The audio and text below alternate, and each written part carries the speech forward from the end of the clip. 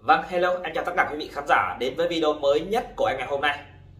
Và trong video ngày hôm nay có một điều rất đặc biệt mà có lẽ rằng là 90% tất cả quý vị khán giả sẽ nhớ đến ngày hôm nay. Và hôm nay là ngày 22 tháng 12 năm 2022. Và cũng chính ngày hôm nay nếu mà tính theo dương lịch thì đúng là cái ngày cách đây một năm trước là cháu VA đã chính thức rời khỏi cõi đời này. Và quý vị và các bạn còn nhớ ngày 22 tháng 12 năm 2021 cũng là ngày mà Trang đã ra tay và hành hạ nhiều nhất là 4 tiếng trước khi qua đời. Và Thái cũng là người đã chứng kiến qua camera khi thấy con mình như vậy, nhưng mà lại không can ngăn và đã để sự việc đau lòng xảy ra. Và hiện tại thì Hoàng Sáu TV cũng đang kinh doanh thêm sản phẩm bò khô bò sợi. Rất mong quý vị và các bạn sẽ ủng hộ giúp Hoàng Sáu TV nhé. Đây là sản phẩm đặc sản của tỉnh Gia Lai. Với mỗi một hộp thì chi phí với mức giá là 250k. Đây là bò khô sợi quý vị nhé. Đó. Bò khô sợi, còn đây là bò khô miếng với mức giá là 250k một hộp thôi. Rất mong quý vị khán giả sẽ ủng hộ giúp Hoàng Sáu TV. Về chất lượng thì chắc chắn là quý vị và các bạn khỏi bàn ha. Chất lượng với uy tín thì em đặt lên hàng đầu để bán cho tất cả quý vị và các bạn sẽ cùng thưởng thức. Đây là quý vị mọi người có thể à, mua để làm quà, tặng người thân và ăn thưởng thức thì rất là ngon. Chắc chắn 100% nha quý vị nhá, là hàng bò. Nên là mọi người sẽ yên tâm, ở không ở đâu có đâu, bởi vì là ở đây là nhiệt độ rất là nắng ấy. Ở Gia Lai nhiệt độ nóng lắm, nắng lắm nên là mới có sản phẩm là bò một nắng này. Rất mong mọi người sẽ ủng hộ giúp em. Và đến ngày hôm nay, là ngày 22 tháng 12 năm 2022 mà hai tên ác độc kia vẫn chưa bị xử lý. Cái mức án 8 năm vẫn chưa có hiệu lực. Bản án tử hình vẫn còn đang kháng cáo. Đúng không quý vị? Nên là hôm nay sẽ là một ngày rất đáng nhớ. Và hôm nay cũng vừa trùng ngày là ngày thành lập quân đội nhân dân Việt Nam 22 tháng 12 đó, và hôm nay cũng là cái ngày mà cháu VA ra đi. Nó cũng có một cái sự trùng hợp nào đó. Đúng không quý vị? Và khi em làm video này, thì em vẫn muốn nói với tất cả mọi người rằng là chắc chắn chúng ta đều mong muốn một cái bản án tương xứng, phù hợp sai đến đâu, xử lý đến đó. Đúng người, đúng tội. Và chắc chắn là không thể nào chúng ta đồng ý với cái bản án 8 năm. Đúng không quý vị? Đây là chúng ta cũng vẫn miệt mài tìm hiểu, phân tích những cái nội dung mới nhất liên quan đến vụ án này. Nên em cũng mong tất cả quý vị khán giả, khi xem video của em, mọi người sẽ xem hết video để hiểu được được những nội dung mà em muốn truyền tải quý vị nhé đây, ở đây em có thấy một quý vị khán giả cũng có chia sẻ. Em sẽ chia sẻ lại cho mọi người xem, rồi em sẽ phân tích nha hôm nay là ngày 22 tháng 12 năm 2022 và đúng ngày của năm ngoái còn bị hành hình, thương con vô cùng. Con ơi, và không ai phát hiện để cứu con, chỉ có duy nhất thằng cha của con biết và thấy rõ qua camera. Con trang đang tra tấn dã man như thế nào, nhưng người cha đó đã mặc kệ, lạnh người vì quá ác độc. Chi tiết ngày con bị tra tấn và ra đi thì mọi người có thể tham khảo ha. Ngày 22 tháng 12 năm 2021 Thái đi làm còn VA ở nhà. Cùng với Trang để học trực tuyến theo lịch của nhà trường từ 7 giờ đến 11 giờ. Có nghĩa là 7 giờ đến 11 giờ ngày 22 tháng 12 của năm 2021 đã đúng với cái thời điểm này của năm 2022 khi quý vị và các bạn đang xem video này. Đó, thì cũng là vào cái thời gian ở đây là một năm trời. Cái thời gian ở đây mà chúng ta quan trọng nhất là cái thời gian từ 14 giờ 06 phút đến 14 giờ 30 đó, thì Trang bắt cháu VA quỳ gối học làm bài tập để Trang kiểm tra. Em nhắc lại một chút là cái ngày 22 tháng 12 này là cái ngày mà đau đớn nhất tra tấn nhiều nhất. Và cách vừa cách 10 ngày trước có nghĩa là ngày 11 và 12 của tháng 12 đó thì đã có cái vết thương ở trên đầu là bọn chúng đã tra tấn và hành hạ. Và sau đó đã đưa đến bệnh viện Sài Gòn chấn thương thể hình Sài Gòn Aito đã để khâu cái vết thương đó. Và cái ngày nó đi khâu về bọn chúng vẫn tra tấn. Thì em sẽ chia sẻ ở cái video à, cái cái, cái nội dung sau. Đó nội dung tiếp theo ha là trang cho cháu VA ngồi học trong khoảng thời gian này. Trang không cho cháu mặc quần áo. Và trang sử dụng cây gỗ dạng trụ tròn đường kính 2,2 cm và dài 90 cm cầm bằng tay phải đánh mạnh liên tiếp dồn dập vào người VA khi mỏi tay trang cầm cây gỗ bằng tay trái đánh tiếp. Có nghĩa là em sẽ đọc hết cho mọi người xem cái ngày 22 tháng 12 của năm 2021 thì đã có một cái chuyện gì đó xảy ra với VA để đến ngày hôm nay 22 tháng 12 của năm 2022 này, chúng ta sẽ xem lại ha. Đó 22 tháng 12 năm 2021 thì ngày cuối cùng mà cháu VA còn tồn tại được đến, gọi là 6 giờ chiều, là lúc đây cháu đã ngất xỉu. Và đến 19 giờ 30 thì cháu đã ra đi ha. Đó, Trang tiếp tục đổi tay trái khi mỏi tay. Và Trang mang bao tay vào và tiếp tục đánh VA rất nhiều cái liên tục mặc dù lúc này trên cơ thể VA đã có rất nhiều các vết thương, tụ máu, vùng mông, thắt lưng. Khi cháu VA né tránh, thì Trang dùng dây rút, loại dây nhựa đấy trói hai tay hai chân lại, sau đó tiếp tục dùng cây gỗ tròn đánh. Cháu ngã xuống sàn nhà, Trang vẫn tiếp tục cầm cây gỗ bằng hai tay, dồn lực đánh rất mạnh liên tục, nhiều cái vào vùng mông và vùng hông, vùng lưng của cháu. Quý vị tưởng tượng coi, đây là một cái hành vi mà Trang nói là Trang không cố ý để gây ra cái sự việc đau lòng này và Trang chỉ vô tình thôi. Vô tình mà đánh tay này. Đau đau tay quá, chuyển sang tay kia. Và khi đau hai tay, quý vị tưởng tượng dùng cây đánh người ta mà đau hai tay, thì lại mang cái bao tay vào để đánh tiếp. Quý vị thấy tự tự tàn nhẫn không?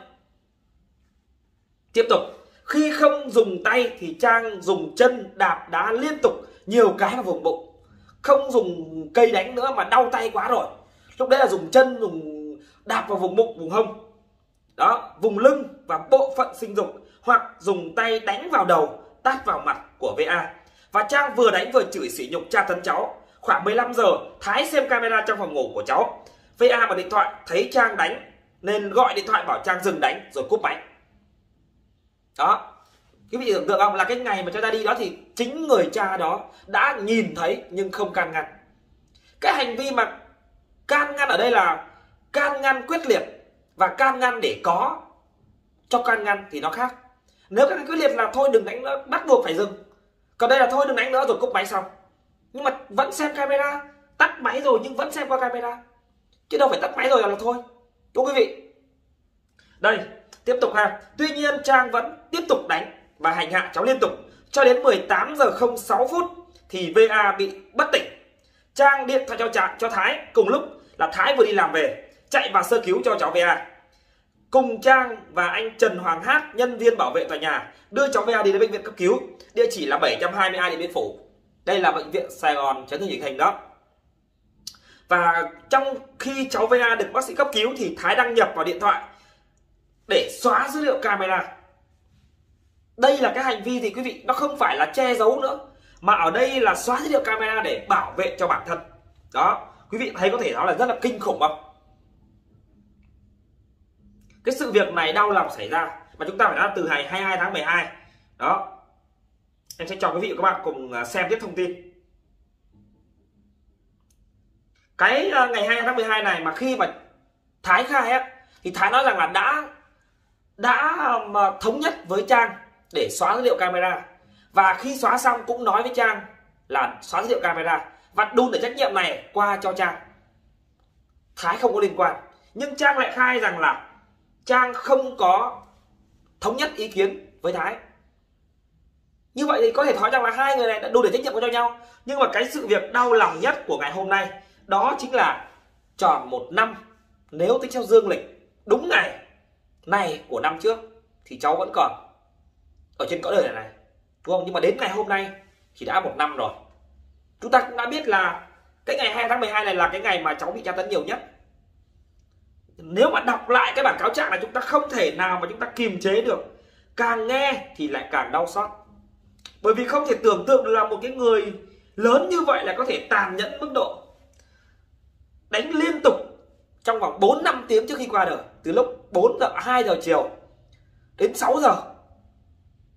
Mà quý vị bảo là, là Trang vẫn khai là không cố ý và vẫn xin để thoát án tử hình và cũng có rất nhiều các bài viết chia sẻ là, gọi là cho cái mức án là xuống trung thân rồi. Chúng ta cũng chưa biết điều gì xảy ra, đúng không? Bởi vì bây giờ vẫn đang trong giai đoạn điều tra và quyết định vẫn bên tòa án. Chúng ta đâu có quyền. Nên là em nói với mọi người là đến bây giờ, chúng ta vẫn chưa biết được là có hay không cái vấn đề tử hình. Nhưng chúng ta phải nói rằng là sau một năm trời mà những kẻ thù ác kia vẫn chưa bị xử lý, thì chúng ta vẫn chưa cảm thấy hài lòng tại sao chúng ta vẫn đã nói rằng là tất cả các dữ liệu camera đều có rất rõ? Và đó là những cái bằng chứng sống, bằng chứng biết nói.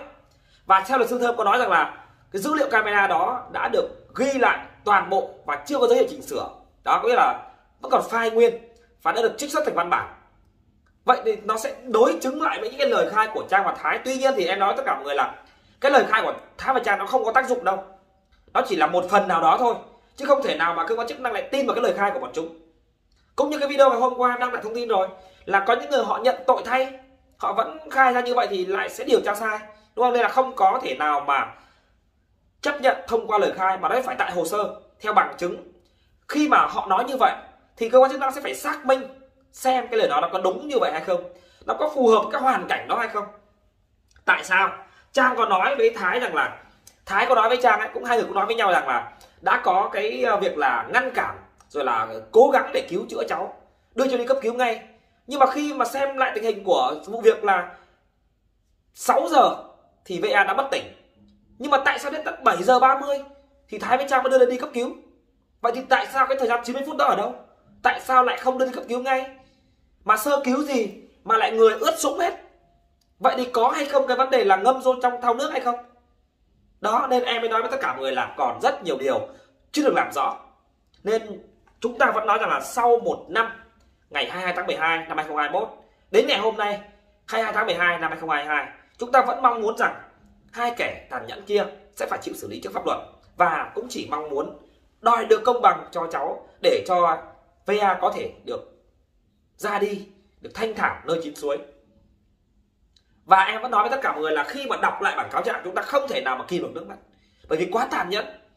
Chúng ta chỉ tưởng tượng là một người lớn như vậy mà đánh đến mức độ mà đau tay, phải quấn rẻ vào tay để đánh và khi mà có cái vấn đề là đau quá, né tránh thì lại dây rút ấy trói tay chân lại, bắt cởi đôi ra để đánh. Thì quý vị thì tưởng tượng coi, nó tàn nhẫn đến mức độ mà kinh khủng, không tưởng tượng được.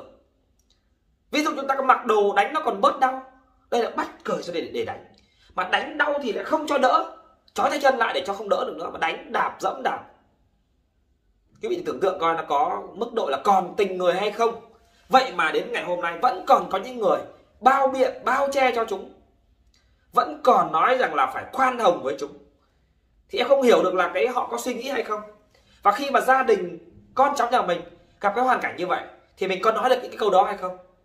Đúng không quý vị? Nên là em cũng rất mong quý vị khán giả sẽ ủng hộ em. Quý vị khán giả cũng đừng quên ủng hộ sản phẩm của em. Bỏ khô, bỏ sợi. Em đang kinh doanh quý vị nhé. Hiện tại em cũng vẫn đang kinh doanh sản phẩm. Rất mong quý vị và các bạn sẽ ủng hộ, giúp cho Hoàng Sơn TV có thêm kinh phí có thêm động lực để ra thêm nhập clip mới. Em rất cảm ơn quý vị và các bạn khi xem hết video này. Chào tất cả mọi người nhé chào mọi người.